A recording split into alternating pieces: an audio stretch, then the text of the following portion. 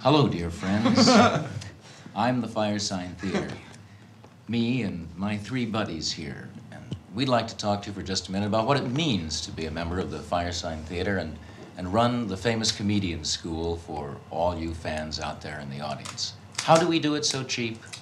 Well, it's easy, friends, because the Firesign Theater does anything for anybody at any time. So long, of course, as we have complete control. Well, we look upon ourselves as media bums. Uh, we all come from different countries, and therefore we represent a kind of cross-cultural influence, and we all got our start on local television, ca- cable TV in the 30s. And as you know, the Firesign Theater is, is doing its very best to convince all the wonderful, wonderful people out there that we are entering only into a period of economic impression, not depression. And we're here to laugh your blues away. Like in the 30s, stand up and sing. But stand up for yourself this time, dear friends. We prefer any mediums. We work in tape, styrofoam, uh, any kind of uh, oatmeal, anything you can get your hands into and kind of play with. Wouldn't you say that's right, Pete?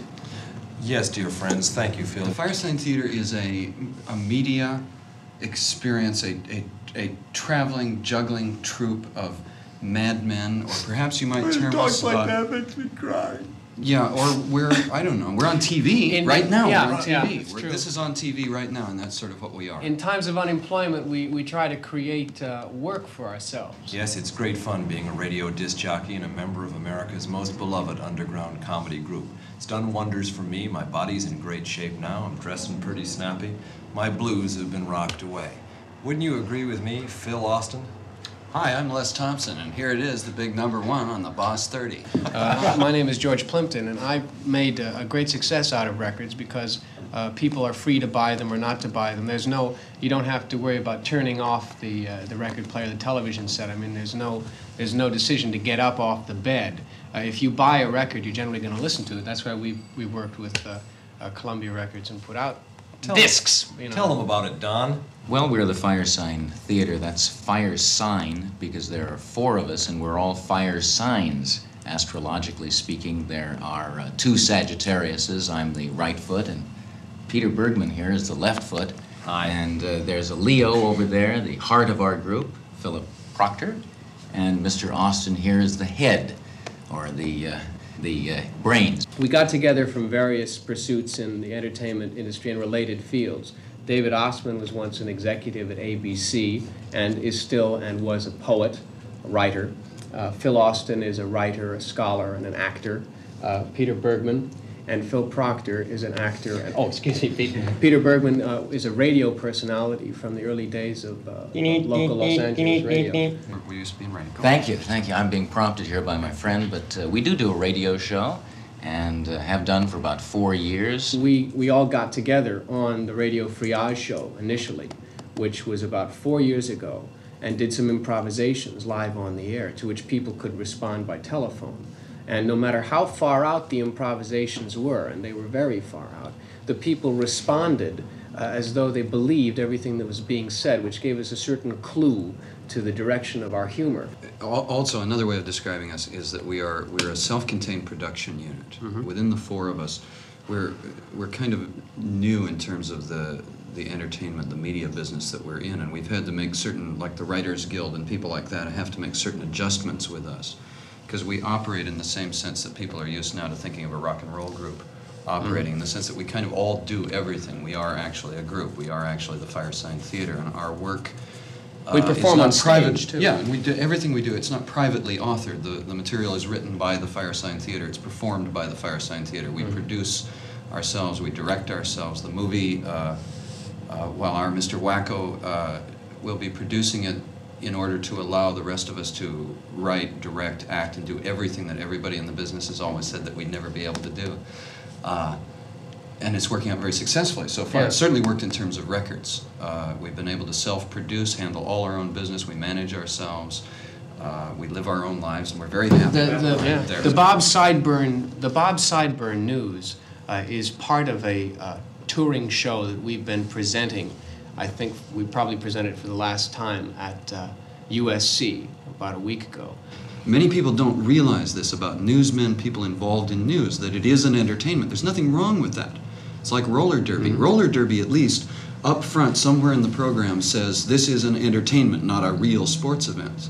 And I suppose if we're saying anything, we're saying that it would be nice that if the, if the news and pro football, for that matter, would say the same thing, then we'd all at least know what we're talking about, that these things are staged. That the news is an entertainment. Yes, I right. mean, Walter Cronkite and, and uh, George, you know, Putnam, or Kevin Saunders, or whoever your newsman may be, is an entertainer. He's an actor. The national disaster doesn't happen to him. I'm an actor. A newsman is also an actor. A person who sells you soap in a commercial or sells you anything is an actor. It's all actors. Nothing wrong with that. No. But it's not real. Television isn't real. And it's artificial. It's a god. This is a god. This is the television god. I'm speaking to you through the television god. What I say through the television god, if I'm a newsman, takes on an importance that perhaps is not justifiable. So when the newsman comes on, he's got to make himself as interesting as possible so that you won't switch and watch Fay Wray, right? And Hercules' Strong Arms. The way he does that is to dramatize whatever he says. And the drama. One of the ways of doing that is talking in these ways. Now, these men don't really talk like that. They don't. They are they are orating, much like it's an, a grand old American tradition of the Fourth of July orator. It is Ralph Williams because if he can really get you going, right? If he can get you interested in the news, this car, now here's a blue news story, and here's a red news story, and here's a yellow news story. This comes complete with facts and drama, right? He wants to make you believe that there is such a thing as Vietnam, race riots, Negro problems, welfare. Things that you say, well, of course, what's this man talking about? Of course, those are real. I read about them all the time. But you don't see them. You don't know anybody that's starving. You've never met anybody. You, never met the news. The news is only brought to you by actors. The poor reporter is faced with having to fill a great deal of time. There is no news, but there's a large segment of time allotted for the news. And uh, I like those guys who go out there and when the red light goes on, they talk for 10 minutes. I like to watch them, I enjoy it. And so that's why we did Mickey. It's nice to see a guy making it in a very difficult situation, and news people do that too. The reality of this moment right now, like the news, is that Vic is taking a picture of me. And I, I change the way I'm talking to match that phenomenon. Walter changes, you change, everybody changes when they're in front of a camera, when they, when they know that a tape recorder is on, or even when they talk on the phone. Most people have phone voices. I'm talking to this camera right now, and I can see my reflection in this in this orange filter, right? So everything I say is the truth only by being true. It's not. It's not real. It, it's not bigger than life. Just because I'm in your living room on your TV set doesn't mean anything. It doesn't mean The anything. The man behind the camera keeps squinting and closing one eye because he's looking through the machine and he's also catching glimpses of the other reality through his left eye, which is real. See, uh, are, are, is it his legs or the tripod that's holding up the machine that's projecting me through your machine into your home? And what's holding you up? It's all pretty funny, isn't it? That's why we do it, you see, because it is all pretty funny. And the news now, you see, is good news. No matter what you see on it, it is good news. And uh, if our news is good, it, then it's funny news. And that's, uh, that's one other aspect, I think, of what the Firesign Theater is, is good-timey humorists. Yeah, right, indeed. Good old timey humor. Yes, uh, Miss uh, D'Angelo? You said that uh, news is staged. Now, what do you mean by that? Ah. Ah, why would I say that news is Okay, okay, staged? now. Okay, now.